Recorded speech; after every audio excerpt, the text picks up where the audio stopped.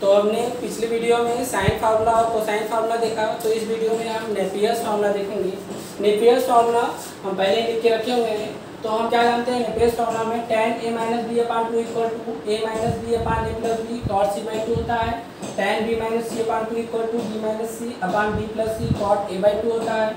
और tan C minus A upon two equal to C minus A upon C plus A cot B by two होता है। तो हम proofing करते हैं। ए प्रूफ हो जाएगा तो उसी के आधार पे हम सभी प्रूफ कर देते हैं। तो सबसे पहले हम इसका एल साइड ले लेते हैं। तो एल साइड में आर साइड ले लेते हैं। आर साइड तो आर साइड में हमारा A minus B upon A plus B cot C by two है। तो यहाँ से हम साइन फार्मूला का यूज़ करते हैं पहले। तो साइन फार्मूला के आधार पे हम क्या जानते हैं? Upon sine equal to B upon sine equal to C upon sine C equal to K होता है। तो यहाँ से हम ए बी और सी की वैल्यू फाइंड करते हैं। तो क्या मिलेगा? A equal to K sine A B equal to K sine B और C equal to K sine C. इसी की वैल्यू हम पुट कर देते हैं किसमें?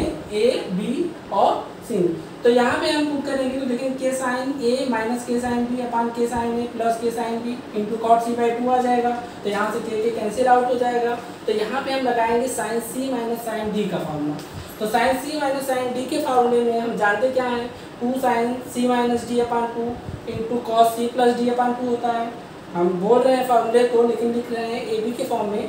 तो और नीचे हो जाएगा sine A plus sine B के फॉर्मूले को two sine A plus B upon two cos A minus B upon two into cot C by two तो यहाँ भी हम देखते क्या है कि sine A minus B upon two cos A minus B upon two क्या हो जाएगा? Tan A minus B upon two और ये दोनों मिलके cot A plus B upon two हो जाता है और कॉट सी बाई टू होता है। तो इसके बाद हम थोड़ा सा यहाँ पे देखते हैं कि हम क्या जानते हैं। जानते हैं कि किसी भी ट्रायंगल के सभी एंगल का सम क्या होता है? पाई होता है। तो यहाँ से अगर अपान टू कर देंगे सबके तो यहाँ से हो जाएगा cot A plus B upon two equal to cot pi by two minus C upon two हो जाएगा। सी बाई टू को हम उस पर लेके चले जाएँगे। तो यहाँ से cot pi by two minus C by two की वैल्यू क्या होती है?